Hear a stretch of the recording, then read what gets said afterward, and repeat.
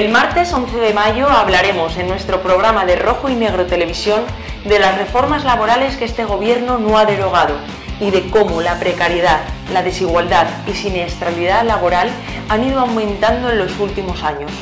Desde Canal 33 de la TDT de Madrid y para el resto del Estado desde nuestra web rojoynegrotv.org, el martes 11 de mayo a las 21 horas, te esperamos.